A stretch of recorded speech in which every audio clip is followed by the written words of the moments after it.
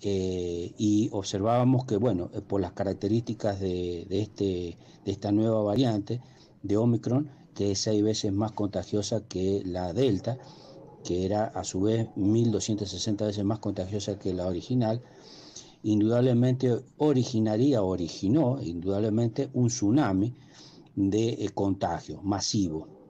Esto, por supuesto, se vio en todos los países al mismo tiempo. Entonces, en esa evolución que veníamos eh, observando, encontrábamos que eh, eh, contrastando nuestros modelos con los de los modelos de los países centrales, nos daba a nosotros el día 14, justamente, había una ventana allí, por supuesto, entre el, entre el 13 y el 17 aproximadamente, y el 15, que se podía producir el pico de la, de la curva de contagios de Argentina. Y efectivamente fue el récord el día 14, eh, 14 de enero. Entonces, eh, encontrándose ya el pico en Argentina, indudablemente, esto estamos diciendo que en la mayoría de las provincias ya están encontrando su pico, algunas ya están bajando, otras como San Juan viene un poquito más atrasado, y indudablemente se iba a ver este, al principio con una eh, baja en el número de casos para luego eh, iniciar un descenso eh, abrupto, así como se subió, se va a bajar. Pero lo importante es que se ha detectado ya el pico de contagio. Entonces, y bueno, y San Juan, nosotros lo veíamos que la ola de San Juan comenzó siete, de 7 a 10 después que eh, se inició en, en, Argentina, es decir, sobre todo en, los en las provincias eh, de Córdoba, Santa Fe y el AMBA, sobre todo el AMBA eh, y provincia de Buenos Aires. y entonces, bueno, lo que se va reflejando en el, el país, eso lo, lo vemos nosotros después en la ola de San Juan.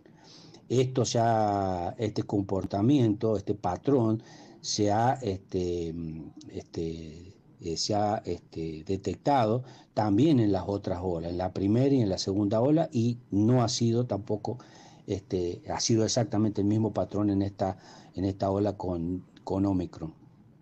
Eh, y por lo tanto, entonces, si, si llevamos esa estadística, si llegamos a ese, ese, ese tiempo, entonces, eh, como Argentina consiguió el pico sobre el 14, entonces San Juan estaría consiguiendo su pico entre el día viernes y el día lunes, hoy día.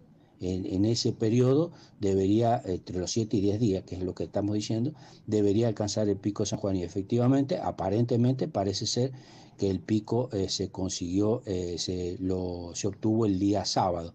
Probablemente hoy día a lo mejor vemos, no sabemos, pero en general este, estamos eh, transitando el pico. Lo más importante es que estamos transitando el pico ya este, de, este tsunami en San Juan también.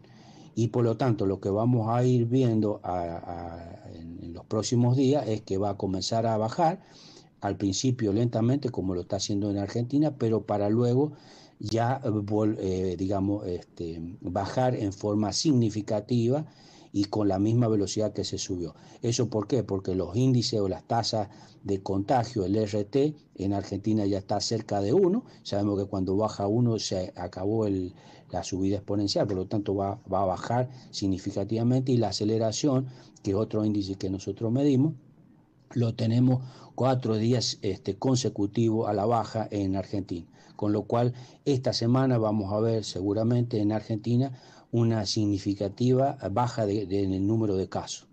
Para este, continuar esto, como decimos, hasta las fechas que nosotros hemos planteado más o menos, que son sobre el 20 de febrero, ya estaríamos abajo en la, en la ola de Argentina y seguramente un poquito más después viene San Juan, pero también eh, sobre esa fecha. O sea que para nosotros este, estaríamos terminando esta ola sobre mediados este, este, de febrero y fines de febrero, casi fines de febrero, eso para el caso de San Juan.